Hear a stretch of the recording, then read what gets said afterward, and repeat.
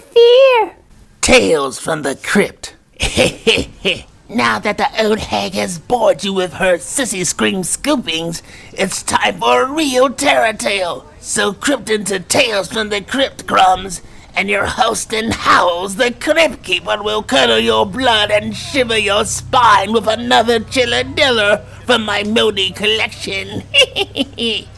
I call this eerie adventure into the nauseating. Dig that cat, he's real gone.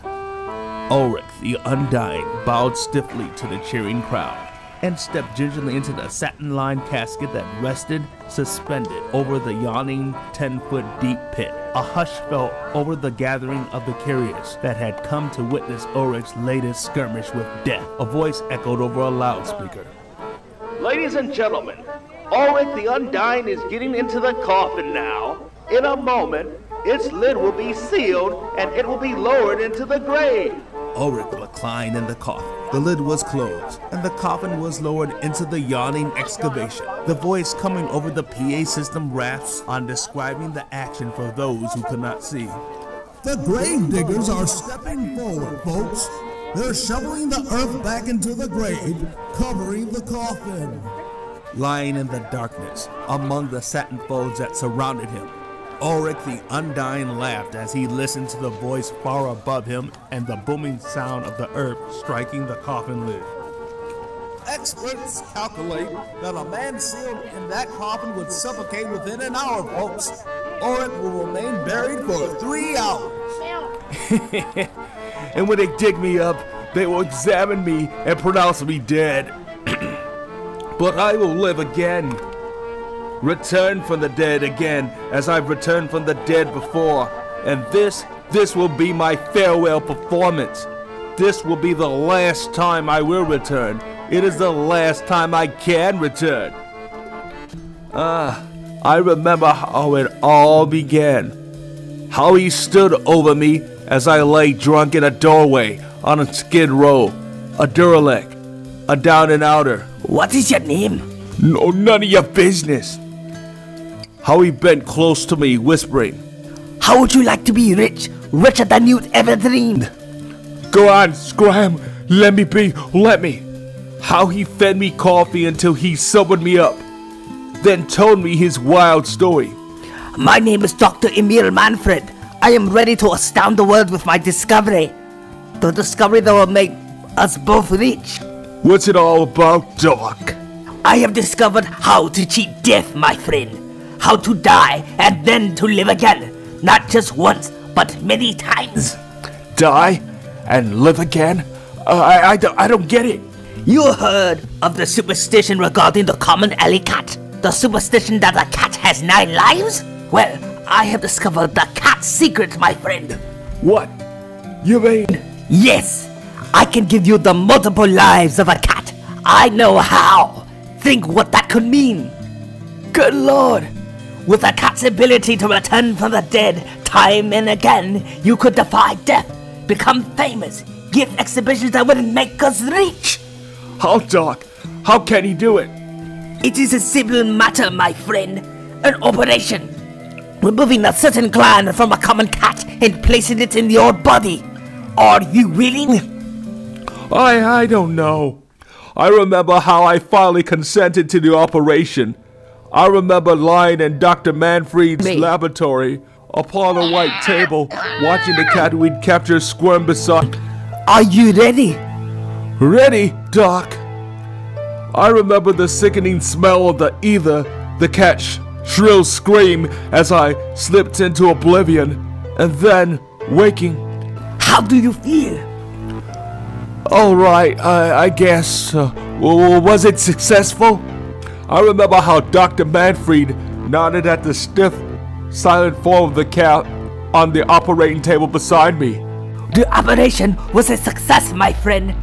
You now have the multiple lives of that poor cat. How can I be sure? How Dr. Manfred lifted the gun, pointed it at my chest. A shot from this close range is a certain death, my friend. No, wait, no! I remember the explosion, the searing pain as the bullet entered my chest, tore into my heart.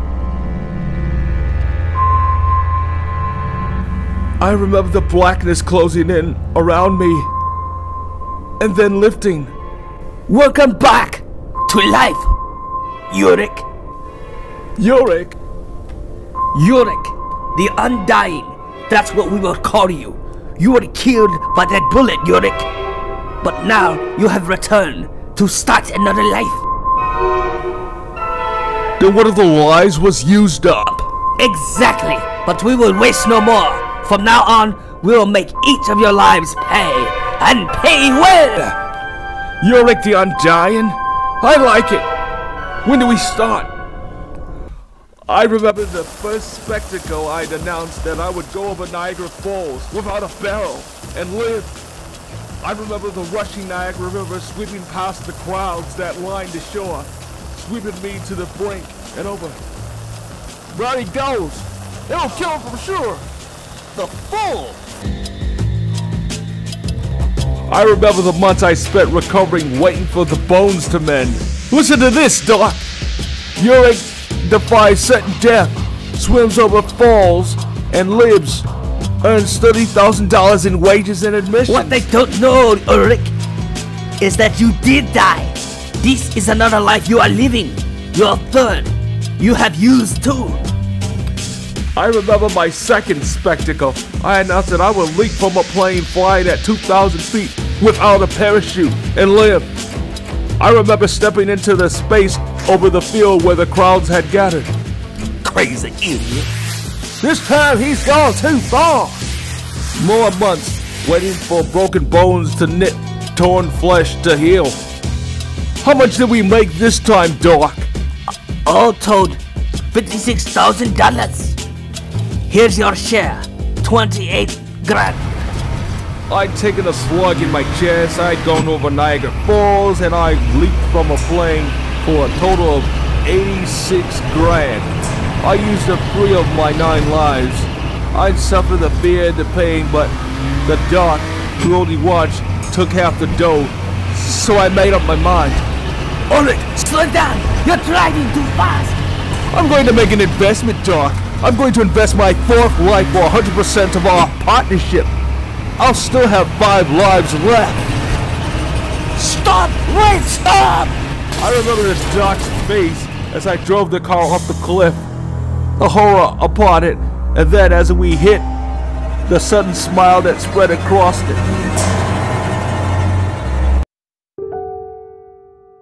Doc died instantly. I revived. I was now in my fifth life. But I couldn't forget that smile. I couldn't get it out of my mind. And after I'd been discharged from the hospital, I announced to the newspapers I will allow myself to be tied up in a sack, weighted down, and dropped into the river for six hours. I am willing to take all bets that it will not kill me. My fifth life left me in the form of tiny bubbles that rose upward to the surface as I lay in the mud of the riverbed, tied in a burlap sack. Before my river spectacle, Doc had taken care of my revivals, my returnings. When they hauled me up and examined me, He's dead. Send him to the morgue. Doc wasn't around to take my corpse away. Luckily, I came to in my sixth life, just before they drained the blood from my body. Hey! What the? Ulric the Undying grinned as he lay among the satin folds in the coffin, ten feet under the ground. That's why Doc smiled just as I, uh, just as he died. He thought they'd embalm me and I'd be finished, unable to return. Well, I was lucky, and the next time, I made arrangements. I hired an attendant. As soon as I am declared dead, bring my body back here and put it in bed. I'll come around after a while. Understand, Saxton? Yes, Mr. Ulric. Then I constructed a replica of the electric chair and I allowed them to shoot the same amount of voltage through my body that all convicted killers get. Ready, Ulric. My sixth life slipped away, with newsreel cameras grinding and television cameras scanning the spectacle as they electrocuted me.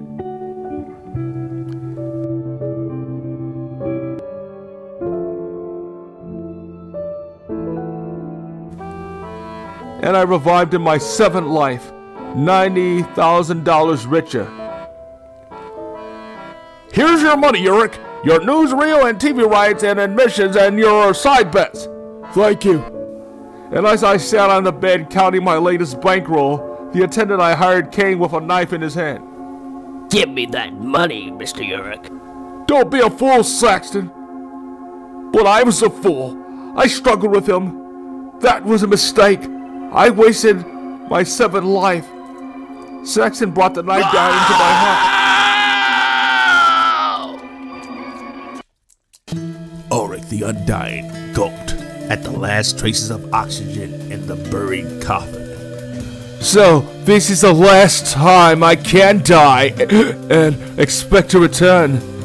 This is my eighth life, and when I revive, I will be in my ninth life, my last life, the final and eternal death at its end. But, but I'm rich now, thanks to that poor cat. That poor cat lying dead on the table next to me. Ulric sighed, his head reeling. That poor cat that died so that I could have its nine. Nine. Oh my lord! Ulric the Undying screamed. That cat! It died once! I only got eight lives from it! Only eight! No, no! Let me out of here! At the last traces of oxygen vanished from the coffin buried so deep. That. That's what. Doc left!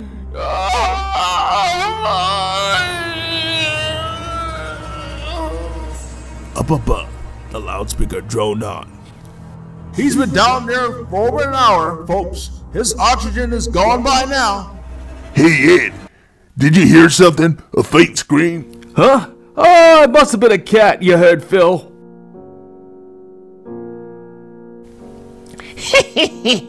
and that's my yup yarn, fiends. Ulric counted his nine lives very carefully. Trouble was, he only had eight to play with. Poor Percy used up one. When they dug up Ulric at the end of the three hours, he was dead, all right. For good, too. now, I'll turn you back to the old witch for more meows. And listen, here's a tip. Make like you're reading her column. If you don't, you may Angora. Bye.